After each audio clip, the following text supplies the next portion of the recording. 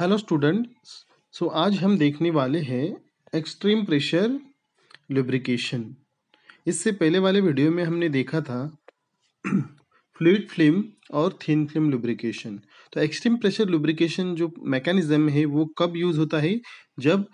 Pressure जो है pressure और टेम्परेचर जो है, वो ज़्यादा रहता है, उस टाइम पे हम यूज़ करते हैं एक्सट्रीम प्रेशर लुब्रिकेशन सो आप क्लियरली इस डायग्राम में देख सकते हैं, यहाँ पे जो प्रेशर है, जो लोड है वो ज़्यादा है, जिसकी वजह से यहाँ पे हमने एक सॉलिड लुब्रिकेंट यूज़ किया है। And this is the area of a deformation okay so what happen in extreme pressure lubrication so initially when the sliding surfaces are subject subjected to very high pressure that is high speed produce a fractional heat that is very high temperature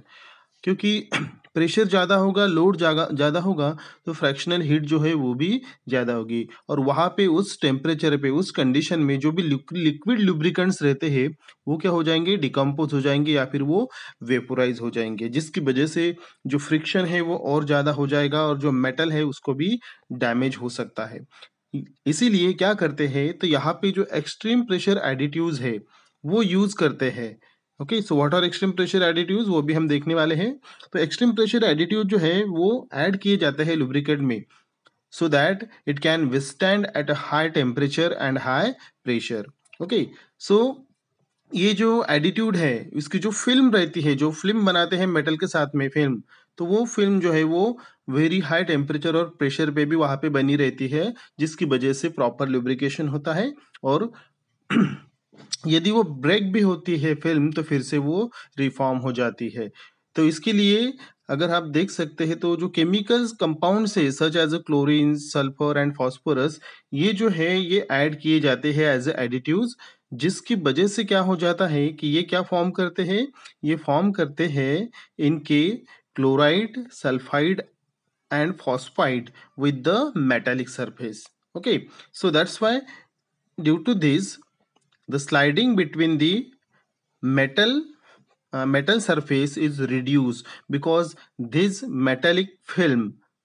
of this lubricant reduce the friction between the two sliding surfaces okay so generally कौन से compounds हम जो है वो extreme pressure lubricant use कर सकते हैं तो आंसर है, high melting point metal compounds are good lubricants. इसके कुछ एग्ज़ाम्पल भी हमारे पास है, जैसे कि आयरन क्लोराइड, जिसका मेल्टिंग पॉइंट है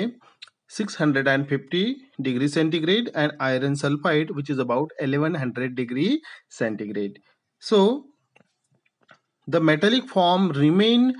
at a high temperature and pressure if the film broken by chance they can be immediately replenished. So ये जो लुब्रिकेंट्स होते हैं, ये उनकी जो मेटेलिक फ़िल्म है, वो हाई टेम्परेचर पे भी बनाए रखते हैं और कभी कभार ये फ़िल्म अगर ब्रेक भी हो जाती है तो वो फिर से रिफॉर्म हो जाती है इस तरह से जो मेटल सरफेस है, उसका फ्रिक्शन कम होता है, वहाँ पे जो मेटल है, उसको डैमेज नहीं होता तो extreme pressure lubricants are use at high pressure and high temperature so this is all about extreme pressure lubrication.